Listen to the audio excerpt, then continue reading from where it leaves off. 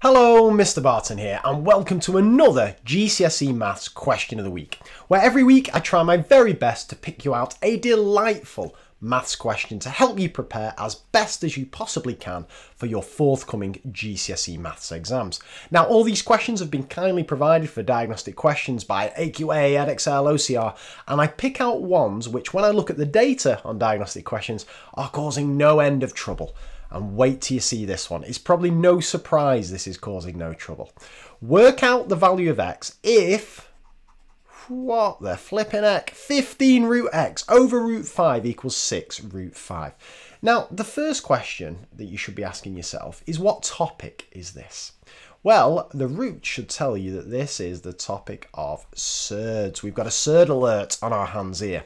Now, often, a lot of the time, uh, when students are studying surds, their emphasis goes into simplifying surds and also doing the tricky thing, rationalizing the denominator. They're probably the two most common things that come up when it comes to surds, simplifying and rationalizing the denominator.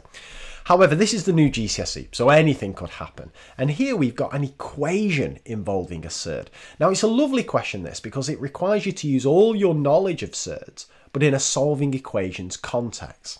So, Let's do it. Let's just take our time, do the same thing to both sides as we solve any equation and see how far we get. So I'm going to write it out. I have got 15 root x divided by the square root of 5 is equal to 6 square root of 5. Now, just if you've seen any of the other videos with solving equations, you know I like to try and unwrap this x. So I've got an x. It's been square rooted, it's been times by 15, and it's been divided by root 5. To unravel that, I've got to do the last thing first. So I'm going to get rid of a divide by root 5. So I'm going to multiply both sides by root 5. So my left-hand side is just going to stay the same. Well, it'll help if I remember that little 1 at the start. And my right hand side is going to be 6 root 5 and then it's going to be multiplied by root 5. Now we've got a problem on our hands here. Before we do our next um, operation to both sides, let's figure out what that is. What's 6 root 5 times another root 5? Well, if we just bomb up over here a little bit, what's root 5 times root 5? Well, root 5 times root 5 is the square root of 25, which is just 5. So 6 lots of root 5 times root 5 is just going to be equal to 6 lots of 5 because root 5 times root 5 is just 5. Be careful with that one. So we end up with 15 root x is just going to be equal to 30. And now things aren't looking too bad, right? But let's not mess up. Let's get rid of this times by 15 by dividing by 15. So I get the square root of x equals 30 divided by 15, which I think is 2. Still not got my answer because I've got square root of x equals 2. I want x, so I'm going to square both sides. So if I square a square root, I just get the number itself. And I've got to square this side, 2 squared, which is going to be equal to 4. So I get for my final answer, x is equal to 4. Is it one of the answers? Whew. Yes, it is. Got it right. But before you think you're disappearing, the fun's just getting started because we learn so much from looking at where each of the wrong answers come from. What about answer A, 2? Well, I reckon this comes from this line here. Students could have got everything right and then got root x equals 2 and then just finished there. But it's not root x. We want what x is. x equals 2. So just be careful with that one. Okay? Now, your other two wrong answers, B and D, I reckon come from making the same mistake. So, and it all occurs around about this line here.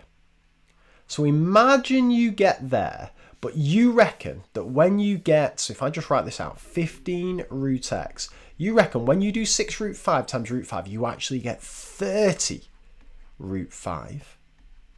So if you don't realize root 5 times root 5 is 5, but you think for some reason you've times your root 5 by the 6 to get 30 root 5, well, in fact, you're going to end up with these two solutions here, okay? If we just follow this through, if I now divide both sides by 15, I'm going to get 2 root 5, which is going to be my answer for B. And if I square both sides, I'm going to get 4 times 5, which is going to give me my 20. Ooh, flipping heck, 20, which is my answer for D. So if you make that mistake with surds, you're going to end up with that as a potential wrong answer. Okay.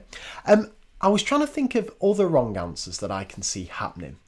I think this is a nice one. Well, not nice because it's wrong, but imagine you're at this first line here. And what you do is you multiply both sides by root 5, but you end up with this. So you get fifth, oh, sorry, 15 root x. And then you think if you times 6 root 5 by root 5, you actually get 6 times 25. So you forget that it's root 25. You get 6 times 25. Well, then if you follow this through, you're going to end up with 6 lots of 25, I think are 150. So you're either going to end up with root x equals 10. So you're either going to say for your answer 10 or you might say x equals 100. So I can see some students coming up with that.